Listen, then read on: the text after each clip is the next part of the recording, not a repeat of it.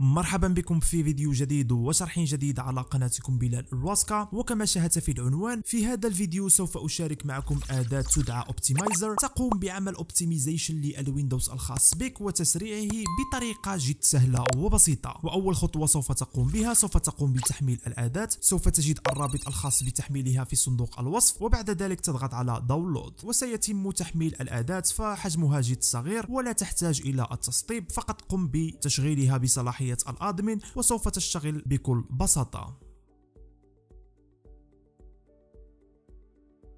وعند فتح البرنامج سوف تجد الواجهة الخاصة به على هذا الشكل فهي عبارة عن اختصارات لمعظم الإعدادات وال services وكذلك التطبيقات والملفات التي لا يستخدمها معظم مستخدمين ويندوز فأداة Optimizer تعمل مع ويندوز 7 وكذلك ويندوز 8 و10 و11 سوف نبدأ مع أول خيار والذي اسمه Universal.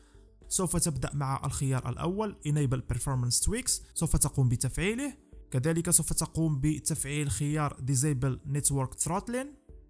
أما بالنسبة لخيار Windows Defender فالأمر متعلق بالحالة الخاصة بك. ففي حالة ما كنت بالفعل قمت بتثبيت أي antivirus على الويندوز الخاص بك فسوف تقوم بتفعيل هذا الخيار. أما بالنسبة إذا كنت تعتمد فقط على Windows Defender فلا تقوم بتفعيل هذا الخيار.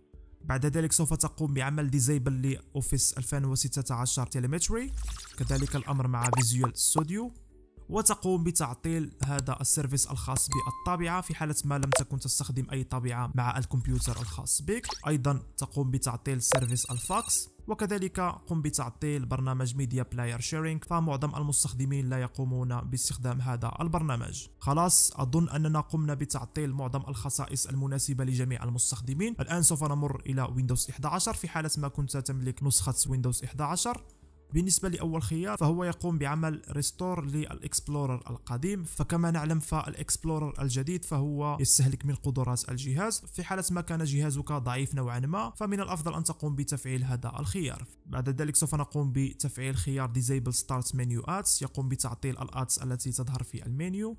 كذلك سوف نقوم بإزالة تثبيت برنامج Drive كذلك برنامج My People. ثم نقوم بعمل disable لخدمة Xbox Live أما في حالة ما كنت تستخدم أنت خدمات الخاصة بال Xbox على الويندوز فلا تقوم بتعطيل هذا الخيار. ثم سوف نقوم بعمل disable chat الخاص بالمحادثات على برامج الويندوز.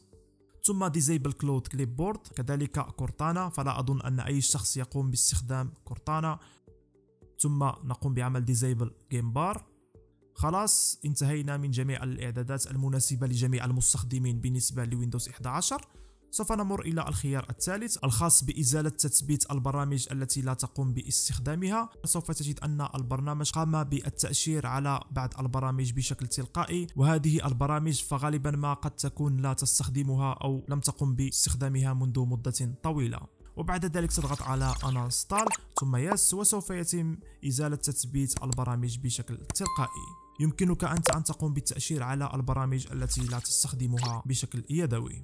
بعد ذلك سوف نضغط على startup. هذا الخيار خاص بتعطيل البرامج التي تشتغل بشكل تلقائي على الويندوز الخاص بك. لكن الشيء الإضافي المتواجد على البرنامج أنه يظهر لك حتى الخدمات الخاصة بالويندوز التي تشتغل بشكل تلقائي. لذلك فمن الأفضل أن تقوم بعمل backup مسبقا قبل أن تقوم بالتأشير على البرامج لكي تتجنب حدوث مشاكل. بعد ذلك تبدأ بالتأشير على البرامج التي لا تريدها أن تشتغل بشكل تلقائي على الويندوز الخاص بك.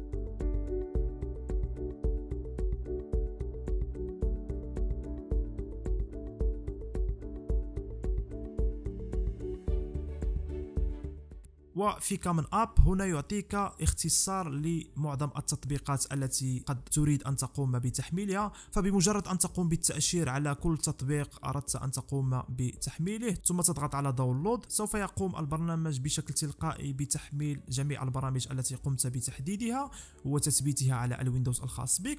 وهذا سوف يوفر لك وقت واختصار لأنك في حالة ما كنت تريد أن تقوم بتحميل كل برنامج واحد تلو الآخر. سوف تضطر إلى الدخول إلى الموقع الرسمي الرسمي لكل برنامج وتحميله بعد ذلك من خيار cleaner هذا الخيار يسمح لك بتنظيف كمبيوتر الخاص بك من حذف الملفات المؤقتة وتنظيف المتصفحات إلى غير ذلك. فأنت سوف تقوم بالتأشير على هذا الخيار الخاص بالملفات المؤقتة. كذلك خيار error reports وكذلك هذا الخيار وأيضا خيار ال recycle bin الخاص بسلة المحذوفات. كذلك يمكنك أن تقوم بتنظيف أي متصفح أردت من جوجل كروم وموزيلا إلى غير ذلك. فقط تقوم بالتأشير على الخيارات التي تريد تنظيفها من cache أو كوكيز أو history إلى غير ذلك. وبعد ذلك تضغط على clean وهنا سوف يظهر لك جميع الأشياء التي سوف يقوم بحذفها البرنامج. بعد ذلك سوف تضغط على clean وسوف يتم تنظيف الكمبيوتر الخاص بك بكل بساطة. هنا بعض الإعدادات الإضافية المتواجدة على الويندوز قد لا تهم معظم المستخدمين. أما بالنسبة لخيار registry فهذا يقوم بإصلاح بعض الخصائص الخاصة بال registry على الويندوز الخاص بك. ففي حالة ما كان لديك مشكل في ال taskbar يمكنك أن تقوم بالتأشير على هذا الخيار. في حالة ما كان لديك مشكل في ال Explorer يمكنك التأشير على هذا الخيار. إلى غير ذلك من الإعدادات. هذا كل ما في الأمر بالنسبة لطريقة عمل optimization للويندوز الخاص بك وتسريعه. الطريقة جد سهلة وبسيطة. عند الانتهاء فمن الأفضل أن تقوم بإعادة تشغيل الكمبيوتر الخاص بك. إذا أعجبك هذا الفيديو لا تنسى الضغط على زر لايك. كان معكم بلال من قناة بلال الراسكا وإلى اللقاء.